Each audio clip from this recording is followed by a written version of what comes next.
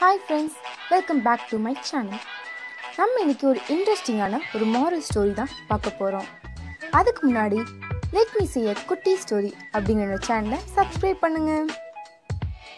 பண்ணிட்டீங்களா? வாங்க நம்ம கதைக்குள்ள போகலாம். சிங்கமும் நான்கு மாடுகளும். ஒரு காட்டுல நான்கு மாடுங்க வாழ்ந்து வந்தது. தினமும் அந்த மாடுங்க புல்லை சாப்பிட ஒரு குறிப்பிட்ட இடத்துல ஒன்றாவே மேய்ஞ்சி வந்துச்சு. ஒரு நாள் அந்த பக்கம் வந்த சிங்கம் அந்த நான்கு மாடுகளும் ஒன்றா புல்லை சாப்பிட்டு இருந்ததை பார்த்தது. பார்த்ததும் அந்த புல்லை சாப்பிட்டு இருக்க மாடை சாப்பிடணும்னு சிங்கத்துக்கு ஆசையும் வந்தது. அதுக்காக அந்த சிங்கம் ஒரு புதர் பின்னாடி ஒளிஞ்சிருந்து அந்த மாடுகளை வேட்டையாட போச்சு. அதை பார்த்து அந்த நாலு மாடுகளும் ஒன்றா சேர்ந்து அந்த சிங்கத்தை அங்கேருந்து துரத்திட்டாங்க. அந்த சிங்கமும் அங்கிருந்து ஓடி வந்துட்டு. அந்த மாடுக நாளும் இருந்ததுனால அந்த சிங்கத்தால அதை எதுவுமே பண்ண முடியல.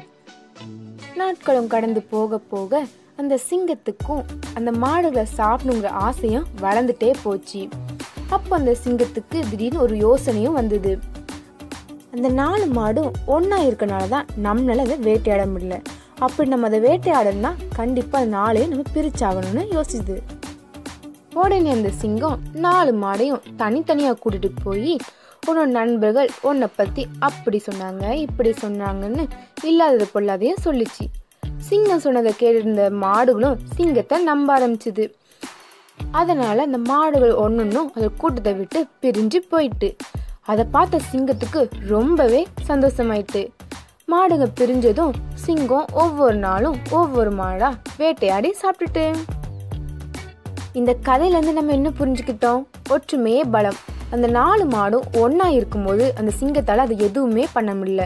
ஆனால் நாலு மாடும் பிரிஞ்சதும் சிங்கம் ஒவ்வொன்றையாக சாப்பிட்டுட்டு. அதுபோல் நம்மளும் நம்ம வாழ்க்கையில் எப்போதுமே ஒற்றுமையாக இருக்கணும். நம்ம அப்படி ஒற்றுமையாக இருந்தால் யாராலையும் நம்மளை எதுவுமே பண்ண முடியாது. கண்டிப்பாக இந்த கதை உங்களுக்கு பிடிச்சிருக்குன்னு நான் நம்புகிறேன் இது மாதிரி இன்னொரு நல்ல கதையை நாளைக்கு வந்து உங்களை மீட் பண்ணுறேன் பை பாய் மறக்காமல் என்னோட சேனலை சப்ஸ்கிரைப் லைக் ஷேர் கமெண்ட் பண்ணுங்கள்